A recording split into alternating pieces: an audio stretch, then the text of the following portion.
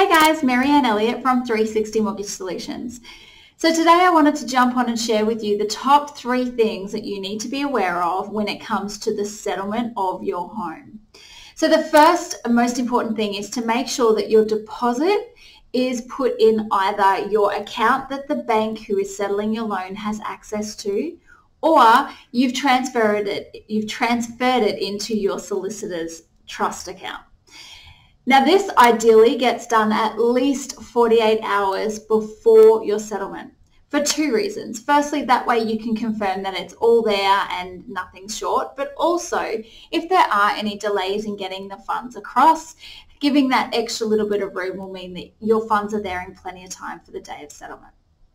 The second thing that you need to know about settlement, and this is quite a common one, is settlement could happen at any point in the day. It might be booked for say 1.30 in the afternoon, but the reality is it can settle at any point. And typically I find that settlements are settling later in the afternoon. So something a lot of clients consider if you're wanting to take the time off work especially if it's your first home and you're not necessarily moving in straight away, you may not want to take settlement day off work, but take the day after because that's when you will be able to get the keys and start moving things straight away. And finally, the third thing to note on the day of settlement is, and I say this to all my clients, don't log on to your internet banking. Now, I know that sounds like a silly thing. The first thing you want to do is have a look at your finances after you've just gone into debt.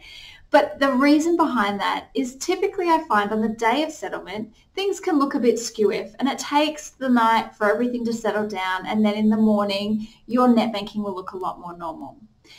In the times where clients haven't been warned, I usually get a, a panicked text message or phone call later in the day after settlement asking me questions about why their internet banking doesn't quite look right. My most common reply is, please log in in the morning, have a look and let me know if it still looks wrong. And every single time I get a text message in the morning saying, just logged on, it all looks good, thanks Maryanne. And the reason is unknown and what usually looks wrong can differ. I've had some clients say the bank didn't take any of their deposit. I've had other clients say that the bank looked to have taken more deposit than what was needed. And I've even had clients tell me that it looked like the home loan hadn't even been drawn yet and yet they had the keys to their new home. The reality is it does take a little while for everything to work through and for your net banking to reflect your new position. So I always encourage you to log on the day after settlement and if it looks wrong then you absolutely should contact your broker because that is when we need to look at getting things fixed. Don't forget, if you want to know more about your first home buying journey and how you can make it as simple as possible, you should check out the First Home Buyer program. I'll pop a link below so you can find out more information, but it's aimed at guiding you through all the things you need to know from preparing for your purchase around how much deposit do I need, how much can I borrow, all the way through to once you've settled your loan, how you can start getting it repaid and save yourself as much interest as possible. So if that sounds like something you're interested in, make sure you hit the link below. I'll also pop a link direct into my diary. So if you wanted to book a one-on-one appointment with me, you are absolutely welcome to. I offer online appointments via Zoom and also face-to-face.